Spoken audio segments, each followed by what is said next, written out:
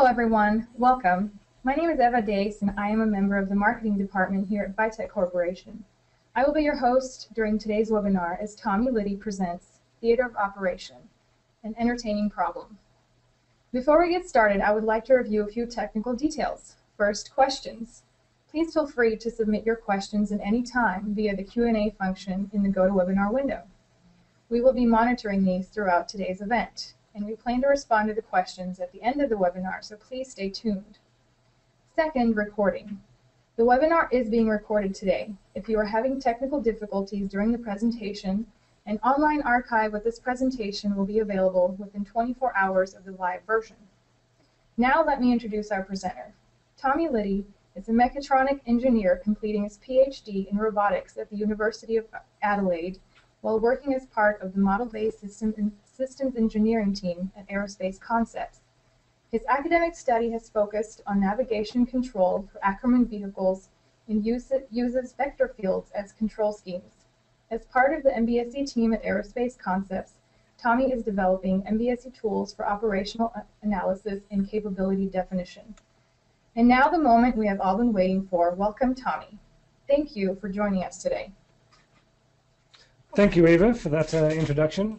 I just want to make a quick shout out to my uh, co-authors, uh, Dr. David Harvey and uh, Mr. Michael Waite and Mr. Paul Logan, uh, some of whom are back in Australia. I think it's about uh, midnight, one o'clock over there. So if they're up listening, a quick hello. today I'm going to be talking about theatre of operations. Um, give you a quick presentation overview I'm uh, going to discuss a little bit of the context of model-based systems engineering, uh, model-based systems engineering approach, and and uh, why we do that. Uh, discuss the uh, user needs uh, through operational analysis and and um, analysis of the the performers, and then I'm going to talk about the solution, the methodology we use to keep focus on on our users, and, uh, and why we do this. And I'm going to do this through a, a bit of an example, an entertaining problem. Uh, we're going to look at uh, putting on a theatre company putting on a certain play. Uh, that plays uh, Macbeth. Uh, I apologise for any um, of you that are theatrically minded and have to get up and do a little dance every time I say the name. I'll try not to say it too many times. Um, and then we'll abstract that just a little bit into a, a generic model, just to show, um, yeah, the the generic aspect of, of what we've done. Uh, so first up, uh, what is systems engineering? Um, systems engineering uh, really is just a, structured approach to uh, definition, design, and implementation of a system. Um, and we use that to address uh, user-defined problems. I get the feeling I might be preaching to the choir in this presentation. I'm, I'm, sure many of you know and use systems engineering. Um, and what is model-based systems engineering, or what pushes us towards model-based systems engineering? Um, basically there, there, are a few things that we identify that pushes us towards using uh, model models or model-based do our systems engineering.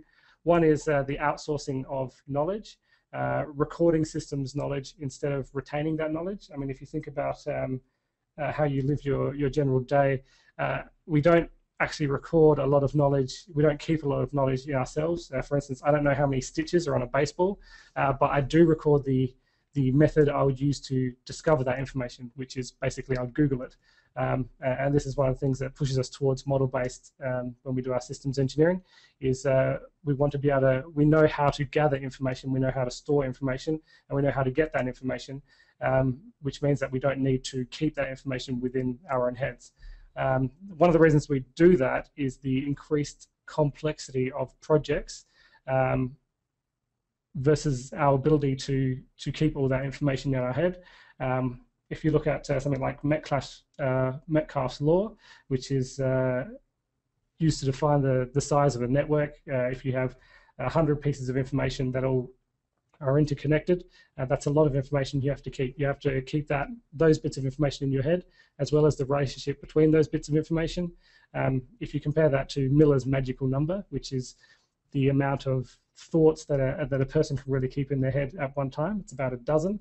Um, it becomes uh, quite difficult. So uh, we use this model-based approach to um, store that information instead of if, instead of trying to keep it. And we also do it uh, because we like to work in teams. Uh, we all kind of work as a as a team. We all we all uh, kind of work with each other and do work together. Uh, using a model-based approach, using all knowing how to gather that information, um, we can uh, put a, large amount of information into one space, into one model, and as long as we all know how to access the information, we all have the knowledge of how to find that information. Um, we don't either need to be the ones that have the knowledge in our head or even the ones that put it into the system uh, to be able to access that information. So that's uh, that's a, a, quick overview of systems engineering and and why uh, we as a group have been pushed towards uh, model-based systems engineering. Um, that's the what and the why. Uh, now there's the where. Uh, where do we use model-based systems engineering? where do we look at model-based systems engineering in the life cycle? basically, we can use model-based systems engineering anywhere from early in the development cycle of a, a project through to uh, the design, the, the production, the V&V, uh, the support, and through the retirement. So the entire life cycle of a, of a project. That's where we use the uh, model-based systems engineering. And what are the, the big uh, benefits of, of model-based systems engineering? Uh, well, model-based systems engineering, uh, traceability, consistency, adaptability, and robustness. These are all the, the big uh, benefits of, of uh, doing your systems engineering in this in this way. Traceability, very important. Uh, being able to understand uh, where your design decisions, where your choices, where your where your ideas have come from, um, how they affect the system as a whole. this is this is very very important.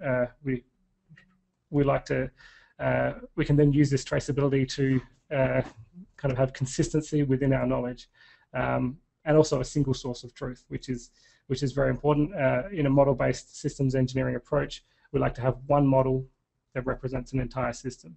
Uh, one model that does this, uh, then you have your your single source of truth. If you can imagine uh, a report, if you have a report on a on a system, someone's written a nice document for you. you email that to your to your colleagues. They all have a look at it, they make changes, they all have different versions of the truth, they'll have different versions of the information. You don't have that single source of truth.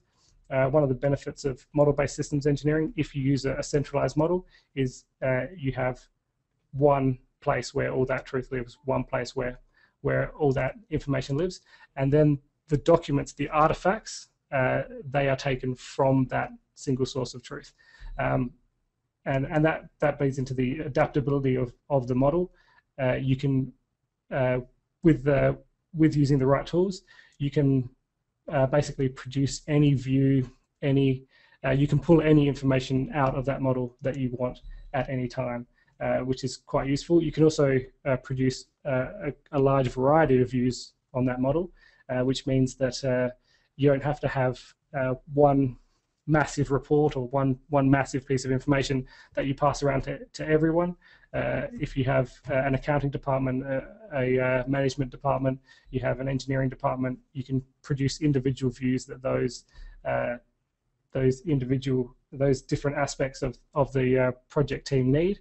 You can produce them from the model, and then you don't have to have superfluous information to any one group and um, the robustness, robustness of information. It, it,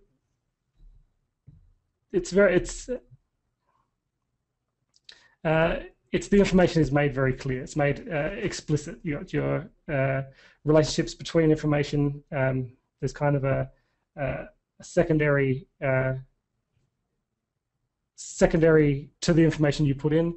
There's also uh, this like correctness of the information. So uh, when you have your, your model-based system, uh, you, you join two items together or you join a group of items together, um, that information uh, can be very, you can have trust in that. It's very strong, it's very robust. Uh, if you have a dozen views that look at those relationships, they're all the same. You can have that, that information is, is uh, yeah, kept very much the same because it's looking at the same uh, single source of truth. So um, yeah, these are these are the benefits of model-based systems engineering, and these are these are why we use model-based systems engineering. So uh, looking at what we'll be going through today, uh, we're going to look at using model-based systems engineering in the concept phase of a project. So this is very early in the life cycle of a project. Uh, we're going to look at the the needs analysis and the requirements analysis uh, in a project. So if we look at the, the life cycle, um, the, the start of a project, the development, production, and retirement, uh, we're going to just look at the conception phase of the project. Um, and in that phase, we, uh, we, we look at user needs analysis, systems requirements analysis, system solution, uh, solution system synthesis, and system definition validation.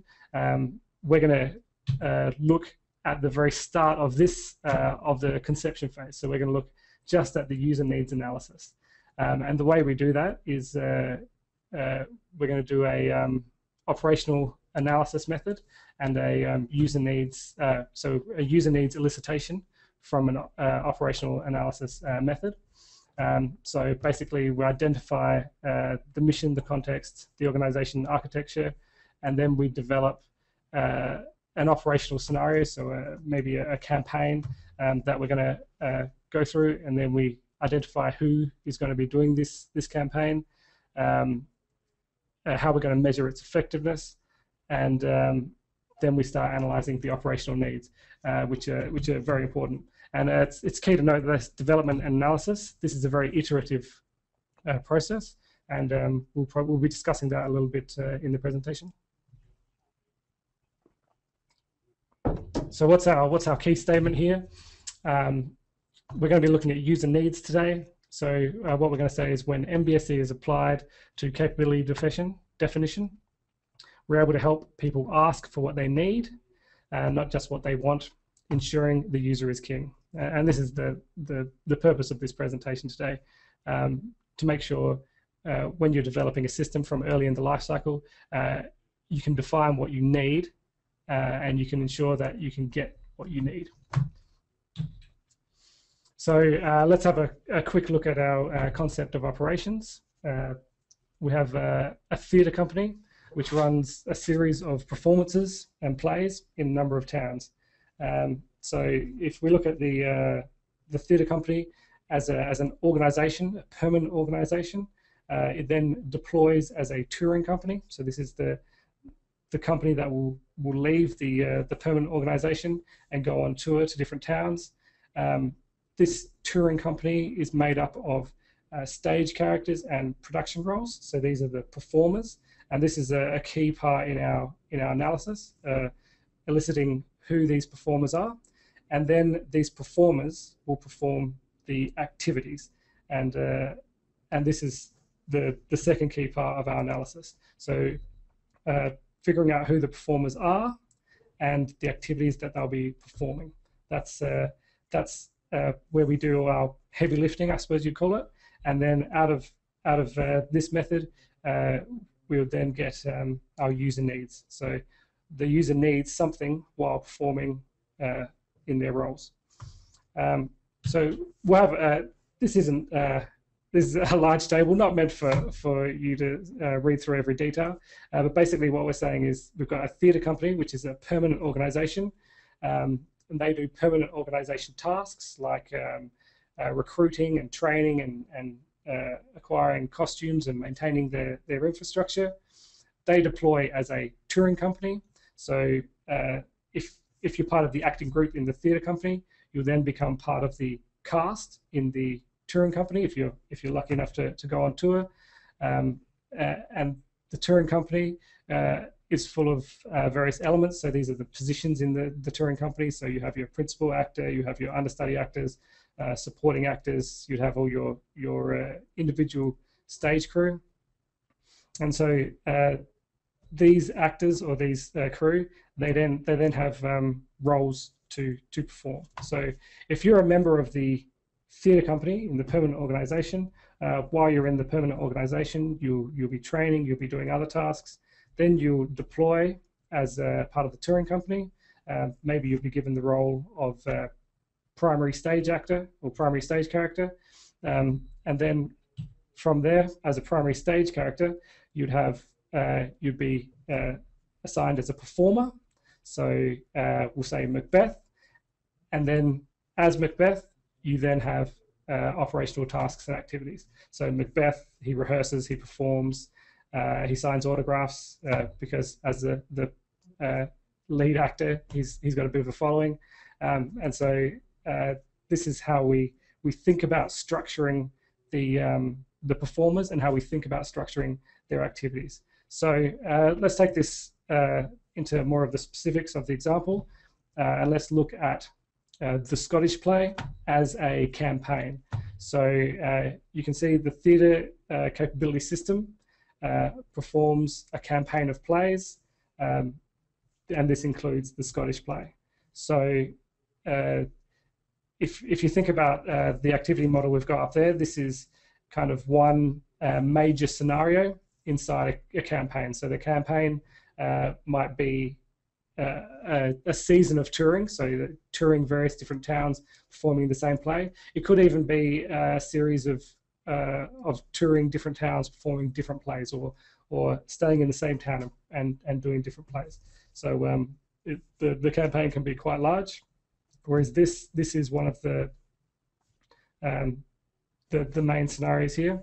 So uh, we're going to focus on perform the Scottish play, um, and we're going to decompose down into um, activities and sub-activities. Uh, and basically, uh, as a rule of thumb, uh, what we try to do is we decompose down these activities and we uh, we look at uh, the user that's going to be performing these activities or the, the performer that's going to be performing acti these activities, and we keep drilling down until uh, we keep iterating down until we have um, each activity is performed by a, sing a, single performer. So Thunder, enter the three witches. Uh, this is the first line from Act 1, Scene 3. Uh, and what we've got here is uh, an activity model of uh, Act 1, Scene 3. Uh, so we can see there we've, we've broken these the activities into, into lines. So we've got the stagehand, uh, the Witches 3, the stage crew, uh, Macbeth, and, and various other characters, all performing their, their activity, all uh, triggering each other's um, tasks, uh, triggering each other's activities, and, and finishing the play. Uh, so we can see here, we've, we've got a few bits of information worth looking at. one is we've, we've broken down, say, if you look at stage crew, You've got the uh, lighting technician. Uh, if you look at the main characters, Macbeth, Banquo, Ross, and Angus, these all have um, these are all performing activities. So a single, if you if you think about it in real terms, a single person is performing a single activity. But if we look up at uh, the Witches Three, uh, this is this is a little different. We've got the Witches Three uh, performing an activity. So these are three people performing the same activity. Uh, what we've done there is we've taken the um, the uh, the three witches and we've aggregated them together so into one uh, performer class. So the witches three are taken as one person because uh, with our understanding of, of what's going on in the uh, play, they're all they're all performing the same tasks. So uh, yeah, so as we look at enter the three witches, they're performed by one performer, the Witches Three. Uh, opening, they're opening tirade. They actually all perform the same lines. Uh, they they form them together. So uh, this is uh, one activity, and um, and so on and so forth. Whereas um, Enter Macbeth, Enter Banquo, uh, these are all all uh, individuals performing individual activities that are just similar. Um, and then if we look further on at at uh, Exeunt, so uh, activity 20 in that in that uh, uh, uh image. Uh, you can see that's performed by characters. So again, what we've done is we've um, in a hierarchy of of um, performers, characters would be quite high. Characters would have children of Macbeth, Banquo, Ross, Angus, which is three. Um, the actual the characters they all perform that task. So that activity is performed by one um, performer class, which is the characters. So that's all characters doing the same task at the same time. Um, and this is this is important when we look at uh, developing user needs, uh, because uh, if you if you think about it, in this case here, uh, getting off the stage, all the characters have the same needs. So um, actually, I think the witches get off the stage a little earlier than this, but um, the Macbeth, Banquo, Ross, and Angus all have the same needs um, in in getting off uh, the stage. So uh, what we can look at now, what we'll do is we'll take a, a single thread of, of this um, activity and we'll look at identifying the user needs. So uh, this is this is basically how we look at it. Uh, we'll go all the way back to um, the production team. So we have our production team, which has the cast. Um, the cast is responsible for the performers. So this is Macbeth, um, and the performers perform the activities. So this is all the information that we've presented so far uh, about your organization structure, about your performers, and then about your activities. But now these activities result in needs. So these are our operational needs or our user needs. And if you can have a look, uh, uh, this is a, a, a, fairly good example of, of, um, of these needs. Uh, we can have a, a, multiple, so you have Macbeth performing um, multiple activities, so delivering lines and delivering further lines. He's got a, a few um, a few blocks of lines to give in that uh, scene. Uh, you have the Witches 3 also uh, performing activities which are uh, basically delivering lines. Um, so these all result in the same need to be seen and heard by audience. So uh, if you were to look at each uh, activity and each user individually, you could produce four different needs out of out of this um, this scenario. You have Macbeth, he delivers lines twice. He needs to be seen and heard by audience when he delivers the first lines. He needs to be seen and heard by audience when he delivers the second line. Um, but what we've done here is we've taken all these uh, needs that have, have come out of our analysis and we've consolidated these needs. So we've taken all the all the times that uh, a, a, character needs to be seen and heard by audience when he's doing a specific activity. So if you if you think about uh, the character, the performer Macbeth needs to be seen and heard by audience when he delivers his lines, when he delivers further lines. We've uh, consolidated those into a single um, operational need. And so uh, it's a bit of a, it's a small jump, but it's a, an important one. And um, and what this allows to, us to do in a in a model-based uh, approach is, um, if we if we if we have this here, uh, say for some reason you take the Witches three out of the play, you're a fickle director, and you don't like The Witches 3, so you decide to wipe them out of the play altogether. Um, if you were to follow their uh, progression of identifying their user needs, well, if you don't have The Witches 3, they don't op- they don't have an opening tirade, and they don't need to be seen and heard by the audience. So, do we get rid of that need to be seen and heard by audience? Well, no, you don't, because if you were to wipe out uh, that section of the, the model, the uh, the need to be seen and heard by audience would still come from uh, Macbeth and Banquo and Ross and Angus performing, uh, delivering their lines. So um, that's one of the, the powers of, of model-based, of looking at the, uh, the system in a model-based method. Uh, we can wipe out pieces of the model and still see the traceability still there of why we wouldn't be um, simply wiping out that operational need. Um, but the Witches 3 have, have their own need. Um, they need to disappear. Um, so the, the, uh, they perform an activity, and in that activity they vanish. That results in a need to disappear. If you weren't going to have the Witches 3, um, that operational need, if this was the, the extent of our, our uh, analysis, that operational need uh, would be would be removed uh, because it has no other um, activity performed that results in that need. Um, so uh, we'll take a, a, closer look at the Witches 3. Uh, as I said before, uh, the Witches, the three Witches have been aggregated up into a single performer, and this decision uh, was based on, say, the the system, the, the system engineers' understanding of, of what the Witches 3 do. Um, and, and we do this to keep the model as uh, simple as possible, but no simpler. Uh, it's, it's a, a, quote I like from, uh, from, I think it was Einstein who said, um, keep things as simple as possible, but no simpler than that.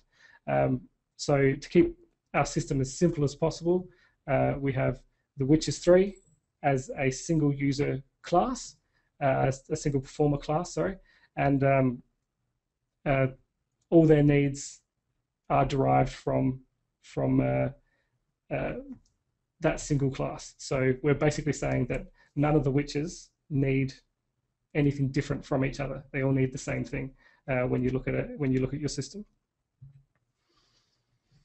Uh, so now, if we can, we want to continue this analysis into the system domain.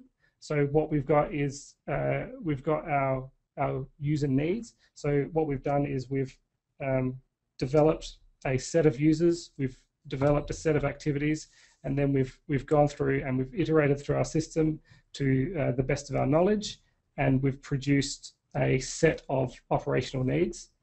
Um, these can now be pushed through to the uh, to the system domain. So uh, these needs are now the basis of functions. So seen and heard by audience, uh, well, we need to need the function provide illumination and project sound. And then these functions can be uh, allocated to components uh, specified by requirements and they exhibit measures of performance. So, so basically what we've got uh, here is we've got a need. Uh, so this is our, our needs analysis. We've got a need that produces a requirement. And what we can actually trace all the way through is we can trace all the way back to the, um, well, we can trace all the way back to the organization. We can trace all the way back to the, uh, the performer performing an activity. So if we if we were to keep going backwards, you'd have uh, Macbeth delivers lines, and if we trace this all the way forward, um, that uh, ends up in the requirement for light. So he needs uh, he needs light on the system, and it needs and you can have a measure on that light. So it can be a certain amount of uh, illumination that he needs to be so to to deliver his lines. Uh, he needs he needs uh, a certain brightness. He needs a certain uh, amount of sound to carry this, this kind of thing. And this gives us great traceability of our system requirements um, all the way back into our, uh, our operational space. And this also gives us a, um, a great way of, of uh, trading off uh, what we can and can't do. So, uh, you know, we may have a, a certain theatre where uh, we've got to trade off between um, how much light we can fit in the light rigging, how much uh, the, the sound quality of the the space of the auditorium, uh, how much uh, uh, sound system equipment we can have in there, and we can trace off these uh, trade off these requirements uh, based on other constraints and other requirements. So we may only have space for um, a few small speakers and a few small lights, or we may have space for um, lots of lights and and and very little speakers. So um, we can do a trade-off between our, our requirements there. So uh, let's so we'll, we'll quickly break this down into a um, into kind of the generic architecture. Uh, so so what we've discussed today, we've got a, a permanent organization which is responsible for a deployed organization. Um, this deployed organization is responsible for our performers. Our performers uh, perform our activities and these result in our user needs. And this is the, the user needs analysis um, that we do. So we start with our permanent organization and we end up with our activities and our user needs. And then, uh, as discussed in the previous slide, uh, we can push that forward into the, um, the system domain, into the functions and the components and the uh, requirements. So in uh, just to give a quick conclusion, um, model-based systems engineering uh, can aid in defining these user, user needs, these, uh, uh, these needs very early in the development lifecycle. Um, and it allows us to, to really apply some rigor uh, to the development of the users and the user classes. And this can give us some consistency um, with our user needs. So if we, if we develop these user classes uh, if we spend some time and effort developing these user classes as best we can, uh, we should uh, pull out a more concise and a more and a clearer set of user needs. Um, and then when we have these, uh, so when we have these users, these user classes, uh, it's important to note that one user can have many needs, as well as many users can have a shared need. Uh, one of the, the key steps in, in systems engineering is consolidation. Uh, so making our system, as I said before, as simple as possible, but no simpler. Um, furthermore, uh, after doing this, uh, this exercise, I realized the person developing the user needs should have a good understanding of the user and the interactions uh, where possible. This is why we get in uh, subject matter experts uh, when we're doing the work, because to be honest, I know very little about Macbeth and putting on a play, and uh, if anyone out there does know about putting on a play, they probably noted that while looking through the, the model that, that was up on the screen. So a quick take-home message, User needs and other stakeholder requirements should be identified and described from the perspective of each class of stakeholder. So each so uh, each performer each performer should be used to develop sets of of uh, user needs. And what this will do, this will give us a solid foundation to build the system on. If you get off on the right uh, trajectory at the start of a project, it'll make the rest of the project a lot easier. So um, a few references if you if you have time to, to do a bit of reading. Um, and I'd say uh, thanks to all at once and to each one. Uh, any questions? All right. Well, thank you, Tommie. And uh, may I just say that was a very interesting comparison to Shakespeare play there. Uh, great presentation. Thank you. Um, so let's move on to the questions. Um, I encourage the audience to help create a vibrant and interesting discussion and submit any questions via the question and chat feature in your GoToWebinar window. Um, so we have a question here from Ronald. He says, you mentioned that developing your user sets and operational scenarios were, in, were an iterative process. How do you know when you have finished an iteration? Uh, it, that's kind of based on how much you know about uh, the system you're dealing with. So, um, uh, so if we look at look at the system uh, there, I, I, didn't know a lot about, uh, well, the, the groups that developed that didn't know a lot about the um, uh, putting on a play, and so we developed a set of of activities and we developed a set of um, users as best we could. And so basically, when we had uh, every activity being performed by a single uh, user or a single user class, that's when we felt that we were finished with that iteration. But if uh, if we were to get in further um, uh, experts in the field, uh, they might know a lot more about the details of the system.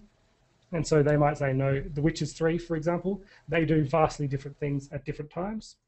And so the next iteration would have the Witches 3 as separate um, separate users, and so um, we would then have separate activities for them, and the model would uh, develop further. So um, yeah, that's that's basically where we know uh, that you're finished. Uh, all your activities have a performer, and uh, you are uh, you can trust that your um, your set of activities and your set of uh, users or performers are as complete as you can get them. And then it's up to the, the developers of the system to uh, gain more expertise, training courses, uh, subject matter experts, and then when you have more knowledge, you can then develop your system further. All right, thank you, Tommie. Well, it looks like uh, that's all the questions we have for today. Um, if anyone in the audience has any other questions or comments that you didn't get a chance to send in today, uh, we invite you to post those on the forum of our community site. You can find that at community.vitechcorp.com. And as I mentioned before, a recording of today's webinar will be posted in the resources section of our website by the close of business tomorrow. Also, I hope you will join us for the final presentation in our webinar series today at 3 p.m. Eastern. You can visit our website for details and registration. In closing, I would like to once again thank our presenter, and I'd especially like to thank all of you for joining us today. At the conclusion of this webinar, a survey window will open on your screen, either in a new browser tab or in a new window. So please take a moment to provide us with feedback on today's presentation or on what topics you'd like to see covered in future webinar. Once again, thank you for joining us and have a great day.